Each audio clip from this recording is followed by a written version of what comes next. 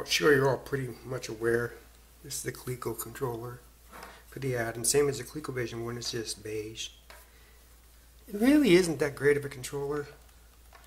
It's hard to manipulate, the buttons are badly placed, it's awkward to hold. This, on the other hand, is much easier to use. We all kind of grew up with this also. This is for the NES. This is actually a knockoff generic version that runs on the PC. What I'm going to do is I'm going to do some simple hacking to make it so that I can replace that with that. First thing I'm going to do is take it apart. This one has four screws holding it together.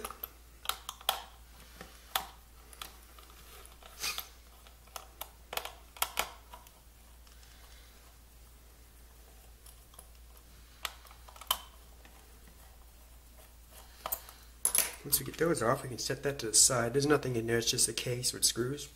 I'm just going to set that to the side. Then there's one screw holding it in place in here. And the wire. They're very cheaply made. Remove that one screw there.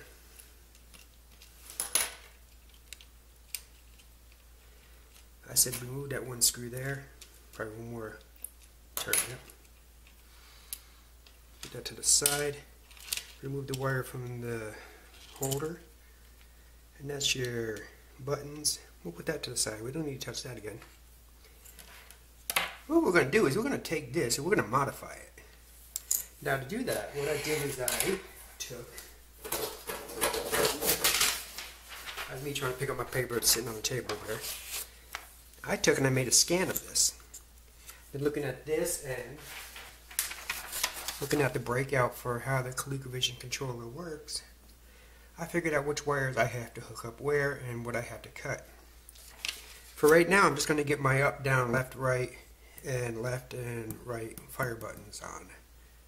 After I get that working, then I'm going to come back and I'm going to change this. Hmm, can I flip this over so you can see? Yeah, I can. I'm going to change the select and start to be either 1 and 2 or 1 and 5. Probably 1 and 2. Or maybe just even 1. We'll see. I'm to figure out which one it is. But I'm to modify this. To do that, I got to cut a few traces, remove some wires, do some soldering. So I'm to get started here. Alright, my battery died before I was able to, to explain exactly what I'm to do here. But looking at this, and looking at this here, we see that right, left, down, and up all use line number 8 then connect to either line 1, 2, 3, or 4.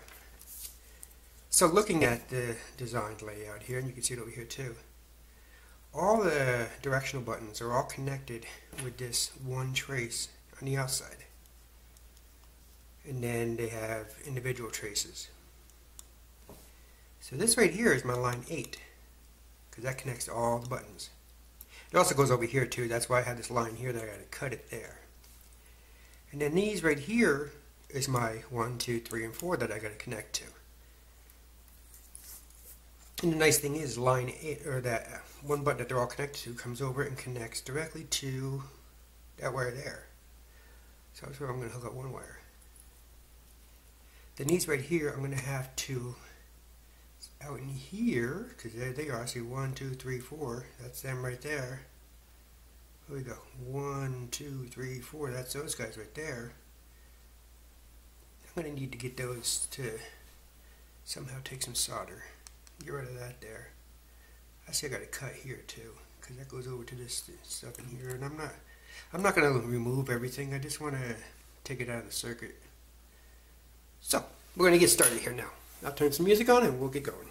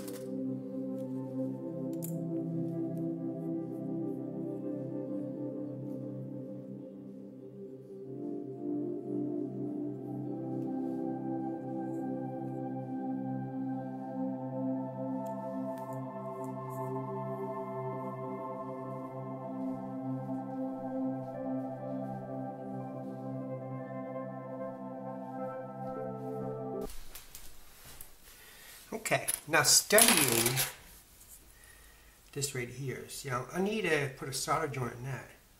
But see, this comes over here and gets very close to that. Can I bridge that? That way I can get it over to here. Maybe I can. If I can bridge that, then I can get over there. Then I can bridge one down here. I can get these, I get a couple of them in here. See, I have all these different pads here. If I can bridge those pads, let's see. If I can bridge that one there, that'll give me that pad for that one. That one I can bridge to that one. That'll give me that pad for that one. Those two, that takes care of these two right here. Then I have these two over here. Hmm. Wish I can get them up to here, but I can't. I can get up to here. Hmm. Nope, I can't get up to there. But we'll figure this one out. I do have a couple holes here and there. I just have to make sure that I don't, like for instance, this is this right here. I just gotta make sure that I don't put any solder wherever this thing goes. I think it goes this way. Don't have any solder or wires directly behind this pad because I don't want to lift up on it and cause an issue. So, that's the start.